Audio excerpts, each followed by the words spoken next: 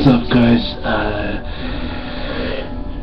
it's time for a new track by track review for the brand new Sheepdogs, uh, Downtown from the new album Future Nostalgia. I gotta say, after listening to it,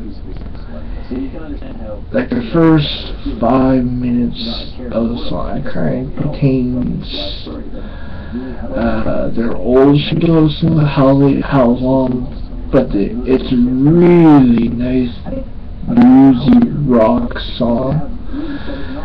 And this, everybody's probably heard the band Sheepdogs. Uh, this is off their new album Future Nostalgia that the band has been working on for probably quite some time, but uh, I have always been a huge fan of Sheepdogs. Saw them at Rock on the Range 2010, and we had them at, at our festival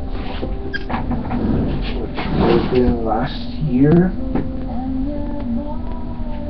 But, uh, yeah, brand new Sheepdogs uh, single, uh, Downtown. I think sometime today, kind of depending, there might be an album review, but I did a drum cover of this band, X Ambassadors. This is a band that I might be reviewing it might sometime this week or next week, but this is a band that I heard your single Renegades through a commercial, but you guys will see a review, uh, polling from X Ambassadors.